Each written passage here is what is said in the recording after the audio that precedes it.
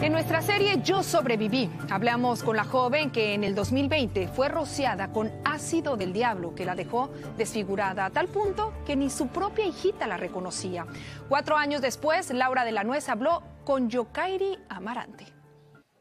Una nueva Yokairi con más reflexión, más amor a la vida de lo que me pasó. Y nada, saliéndose adelante. Eso que pasé de que estaba quemada, estaba a punto de morir y Dios me dio la oportunidad de yo seguir viva, más por mi hija también, mi mamá, mi familia y mis hermanos. Me han dado la fuerza de yo seguir hacia adelante y por eso le tengo más amor a la vida. El 25 de septiembre de 2020 ella fue atacada cuando se trasladaba al trabajo junto a otros pasajeros en un vehículo. Tenía solo 19 años.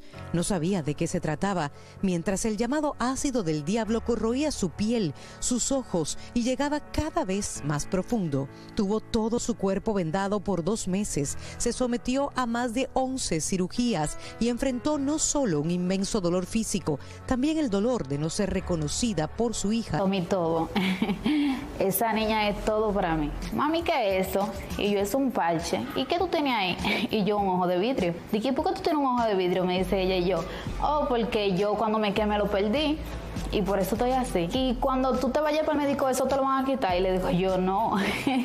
Pero en su soledad, Yokairi aún lucha con el cambio físico que sufrió hace algo más de tres años. Yo siento las heridas me, por dentro, como que me jalan, porque todavía están vivas. Entonces eso yo lo vivo día a día. La fiscalía pudo probar que él pagó unos 400 dólares a dos hombres para cometer el hecho porque Yokairi terminó la relación. Incluso la visitó en el centro médico donde ella se encontraba para regodearse con su estado, según consta en el expediente judicial. Yokairi agrega que aún en las audiencias se burlaban de ella. Nunca ninguno de los tres me han pedido perdón, ni lo necesito tampoco. ¿Tú los perdonas a ellos? Sí le doy su perdón.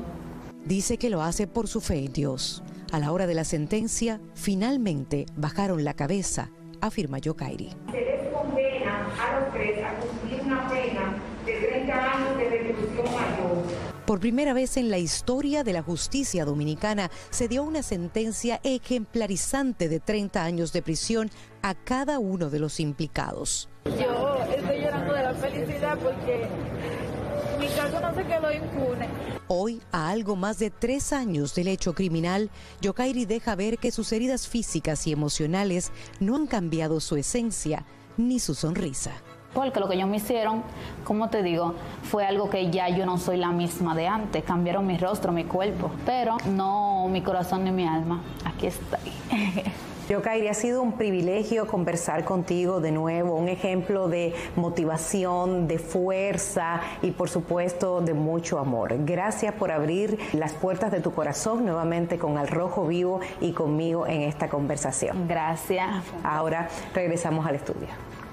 Gracias, Laura. Qué maravillosa entrevista y de verdad qué maravilloso ejemplo el que nos da Yokairi. De verdad que eres una mujer valiente y guerrera en toda la extensión de la palabra.